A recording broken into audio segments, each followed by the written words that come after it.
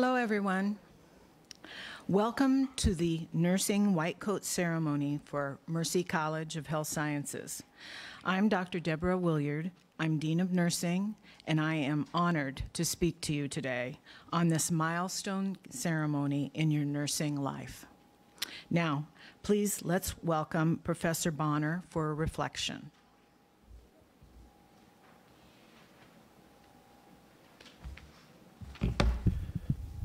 Thank you. Um, my name is Bo Bonner.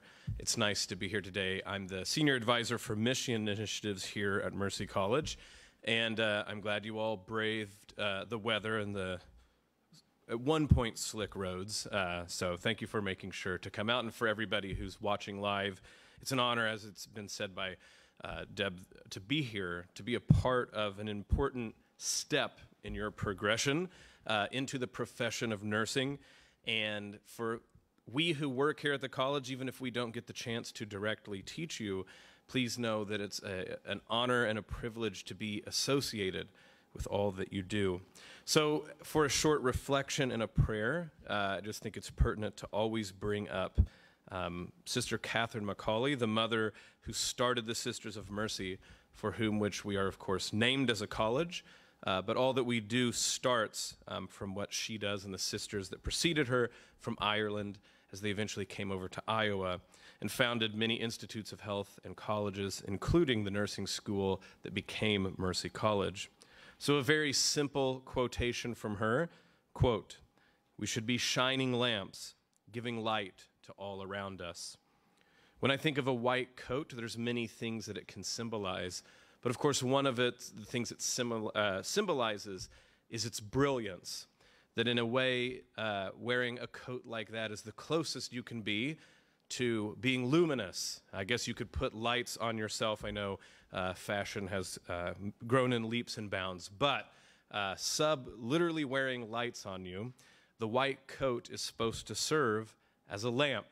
That when you are in a professional setting, especially one like medicine, where people are suffering, and not only suffering from physical ailment, but in many ways suffering from ignorance, not in the sort of negative term, but they don't know what's wrong with them.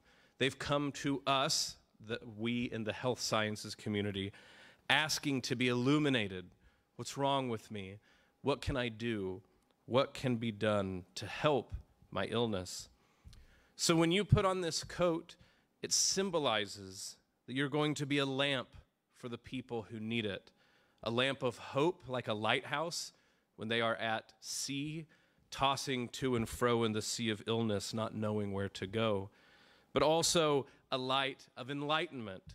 They come to you to ask, What is it that I need to know in order to find the way?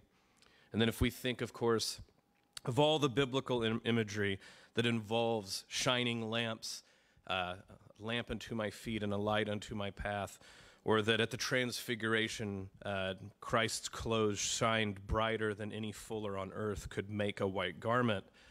All of these things point to that fundamental symbol that in the, li- the darkness that so many of us will eventually find ourselves in due to the frailty of our bodies, that what we do here at Mercy College and what you're entering into is this willingness to be a lamp for others and I just want to point out one more time that someone like me, who is obviously not the paradigm of help uh, of health, as you can just see by looking at me, uh, but also is not trained in the healing arts, that to go around our communities to tell my family and friends that I'm a part of the work that you do is an honor and a privilege that I didn't grow up thinking that I would have.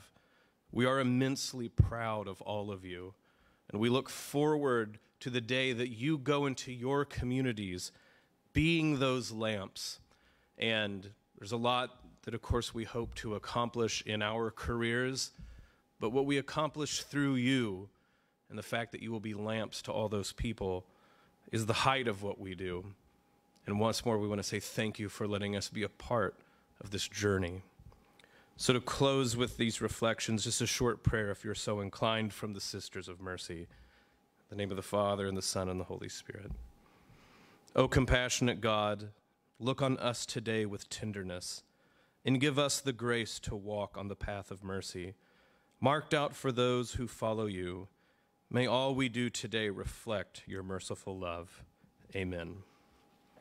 Thank you very much, and one more time, we're all very proud of you.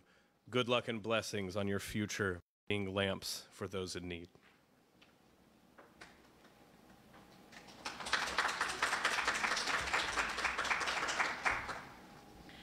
Thank you, Professor Bonner.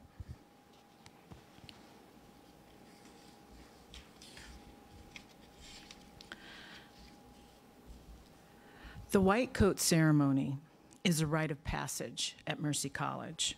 It welcomes you as a new student nurse into the nursing profession.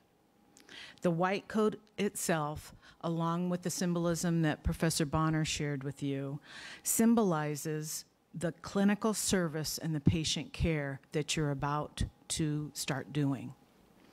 By accepting the white coat, you're making a commitment to transform yourself into a healthcare professional.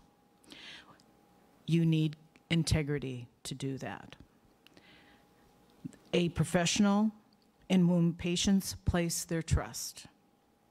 Integrity is an extremely important quality for every nurse.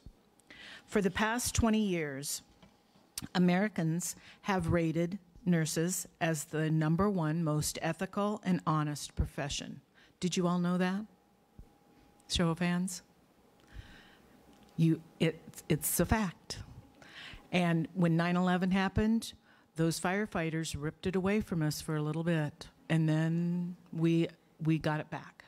So we are the most trusted and ethical profession in the world. And I want to underline that because we are really counting on you to continue that. And so everything you do in the clinical setting going forward and in the classroom has to be at the utmost ethical and honest way that you can do it.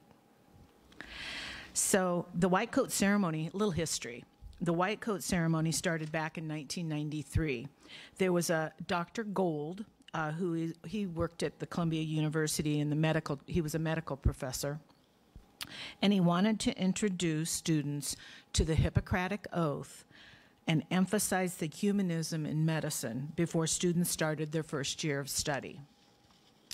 Along with citing the Hippocratic Oath, this, the students accepted a white lab coat as a declaration of that commitment and acceptance and the obligations of the profession. Since that time, the white coat ceremony has spread throughout the world to many uh, disciplines. So it's a very honorable tradition. And so we want to introduce you to that here. There's a lot of uh, traditions that we will pass on during your program. Uh, at the end, a pinning is, uh, a, you probably know, a, a nursing pin. Uh, that's an honorable tradition too. And so we will be, hopefully, the next time you see me, um, or hopefully I'll see you between now and then, is uh, at the pinning and, uh, and I'll be um, very honored to put that pin around your neck. So this event marks the next generation of nursing students who commit to providing compassionate care for all they, that they serve. Students, you have worked hard to get to this point, ready to go to clinicals where you will practice what you have learned and you have persisted and reached your goal of being at the point where you can go into clinical and start practicing. So we are celebrating your success with that. And so tonight is a is a big I wish we could throw a huge party and we wouldn't have to wear masks and all of that, but there'll be a day that we will get to celebrate and uh, hug each other and do things like that. Studying to become a nurse is challenging, and you will continue to work hard and face challenges along the way. It's not easy, but rarely is it easy to achieve something that is truly meaningful. My suggestions are as you go into the clinical, on your way to clinical, prepare your mind. Leave, you know, if you had a fight with your boyfriend or your husband or your wife that, um, that day, put that aside for the time that you're going to be spending with these patients. The patients, and I, I'm, uh, I'm very fortunate to have spent the last 45 years as a nurse. And I know I've I spend a bunch of that time at the bedside, but your patients deserve your full attention when you're at the bedside, whether you're a nursing student or a registered nurse. So my suggestions are you go to clinical, you prepare your mind that you're going to that's why one of the reasons why we don't like you to carry your phones or wear smartwatches because those distractions and you don't want to make a mistake. And if you don't have your full mind there it's um, it's dangerous. So we want to want you to prepare your mind and be engaged in the activities of the unit. Watch the nurses listen to your college instructors who they're guiding you Follow the rules, all rules. They are enforced to protect you and the patients. Help the nurses that you're not working with. When you're not working with your patient, you can be out looking for something else that maybe a nurse needs a, a- to help with a patient getting them to the chair.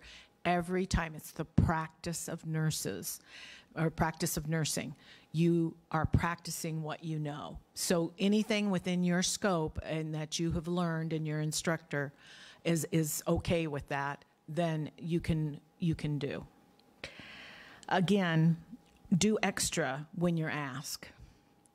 If they ask you to go go um, do something that you're not uh, trained to do, then you just politely tell them, "I haven't had that in my classes yet," or you go and ask your your uh, instructor if you can do that with them.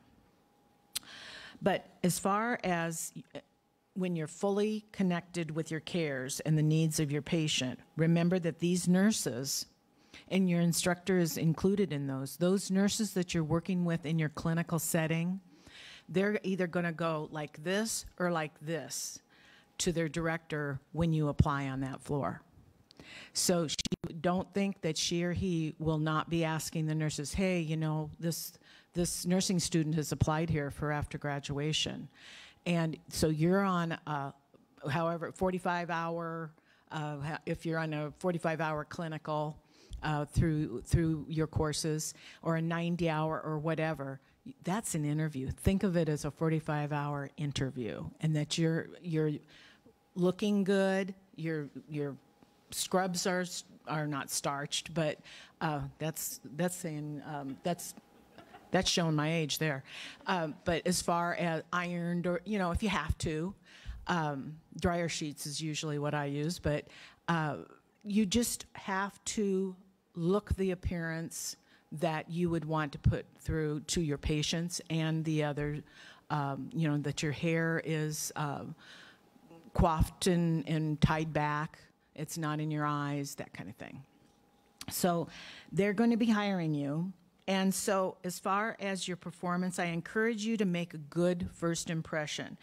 Every interaction that you have on the unit, in the parking lot, in the cafeteria, they're going to identify you in those purple scrubs, and they know I get calls if you know you're acting up in the cafeteria you know there you're being loud and and uh, the, i get a call because they know you are a mercy nursing student. And so you're representing us uh, over across the way or wherever whatever venue you go to. So always be at your best i ask. So as far as uh, really the reason I'm asking you to do all of this is because I want to be the number one nursing school, at least in the state, if not the country. So you, this is up to you to help me and the faculty and your instruct your clinical instructors to get us to that point. So I, I'm really asking you um, to do this. As far as your family and friends, they're, they're there to support you. I thank them for joining us today if they're on, um, uh, looking on from home, and I wish that they could all be here for this special event. But um, we will be able to, hopefully at graduation and pinning, be able to um, celebrate with them. So again, thank you for, for uh, everything that uh, you're doing right now, and I will hand it over to Professor Hallie Hadkey.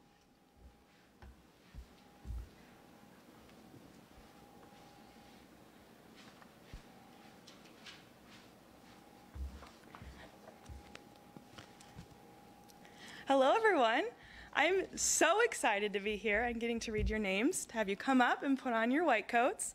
So we'll just get started. First up is Caroline Barth.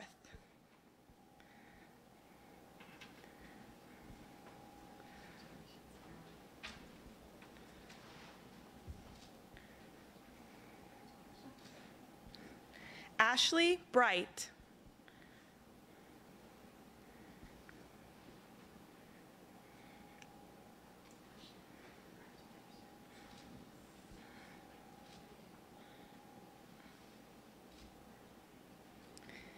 Miriam Saramovic.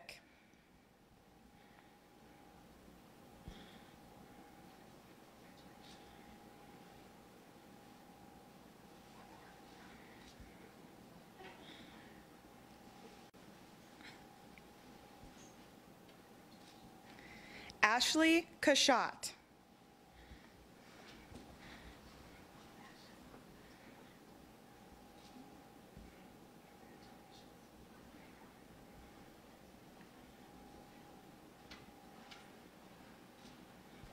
Pure Dawson.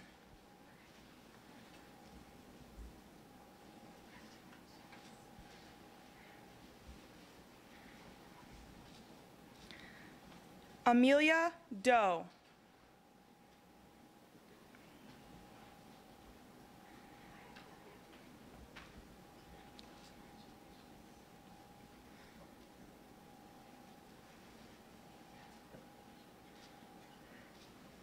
Henrietta Dolopi.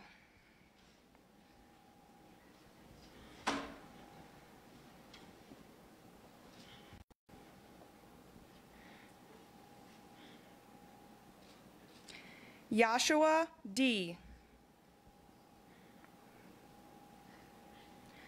Mahari Gadi.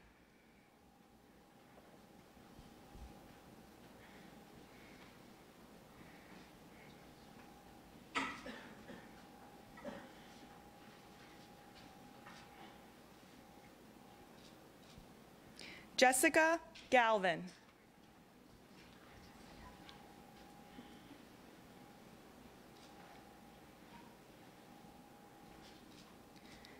Megan Gatliff.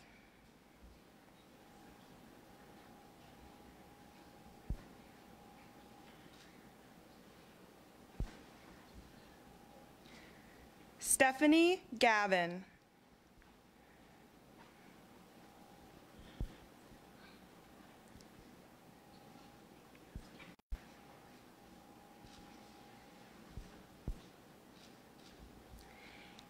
Haiti Gross Lopez.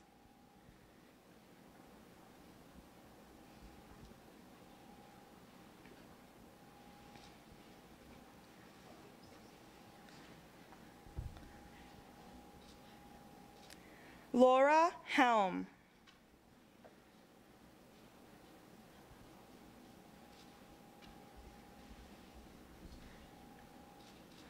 Brooke Huffman.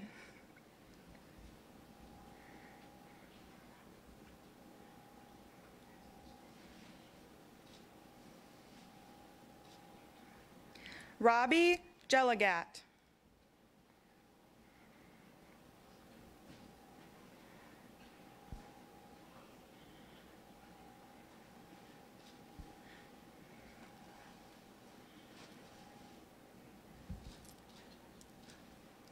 Franklin Leffler.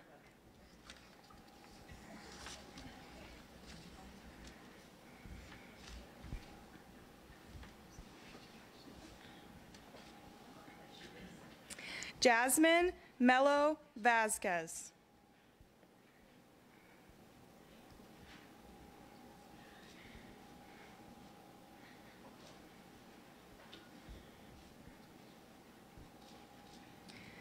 Tuyen Monzone.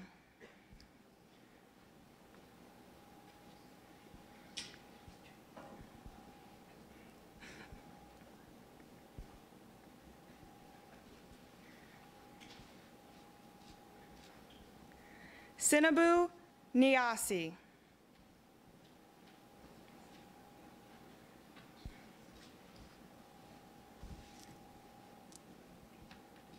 Craig O'Keefe.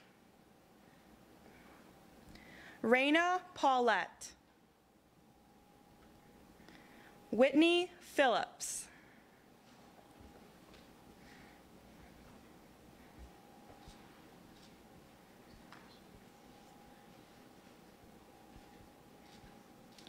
Viola Posiano. Maggie Reckhemmer. Nicole Richardson.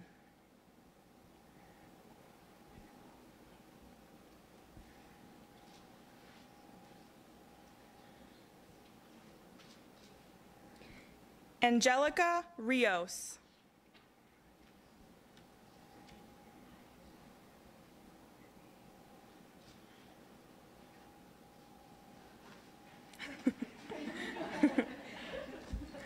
Ricardo Rodriguez. Jennifer Skinner.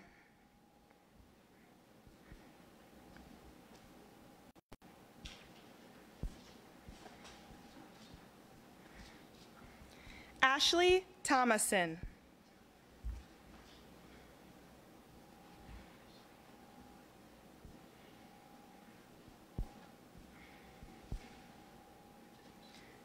Chelsea Waddell.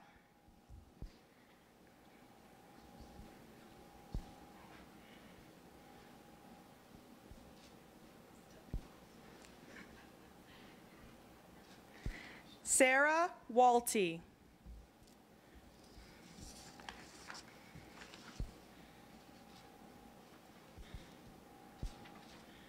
And that's everyone. Next up, we'll have Professor Moss for the pledge.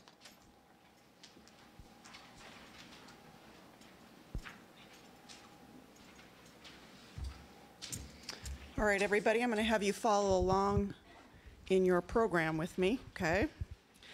First, a little background. Um, in 1912, the Florence Nightingale Medal was established by the International Red Cross to reward nurses who have distinguished themselves in an exceptional manner by great devotion to their patients in time of war or peace. If you are a current nurse, faculty, or nursing student, please stand and join me in reciting the Florence Nightingale Pledge. You ready? I solemnly pledge myself before God and in the presence of this assembly to faithfully practice my profession of nursing. I will do all in my power to make and maintain the highest standards and practices of my profession. I will hold in confidence all personal matters committed to my keeping in the practice of my calling. I will assist the physician in his or her works and will devote myself to the welfare of my patients, my family, and my community. I will endeavor to fulfill my rights and privileges as a good citizen and take my share of responsibility in promoting the health and welfare of the community. I will constantly endeavor to increase my knowledge and skills in nursing and to use them wisely. I will zealously seek to nurse those who are ill wherever they may be and whenever they are in need. I will be active in assisting others in safeguarding and promoting the health and happiness of mankind. Thank you. You may be seated. And please welcome back Dr. Williard.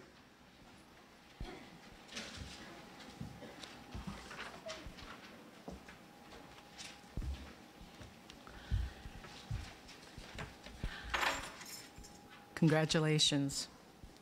So again, you've worked hard to get to this point, and you've faced a lot of challenges, and you've persisted, and you've reached your goal of entering nursing school, and we're celebrating you today.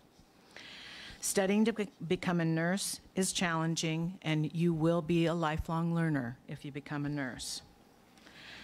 There are going to be lots of rewards, and I want to make sure that your time spent at Mercy is memorable and that you enjoy at least some parts of it. And I, we want to, I want to encourage you to talk to your faculty. They've been through this. We were once sitting exactly where you were, some, some of us longer ago than, than others. And I just want to make sure that uh, this is a memorable time for you. So, again, uh, congratulations. Thank you for coming today. And, uh, and I know you've got to get to class. and hopefully, uh, you know, we'll, we won't spend too much of your class time doing this. But again, thank you. I want to encourage you to come up to the front after we close here to get a group picture. And, uh, and then uh, thank the family and friends at home that are watching. And uh, I wish you the best of luck. Thank you.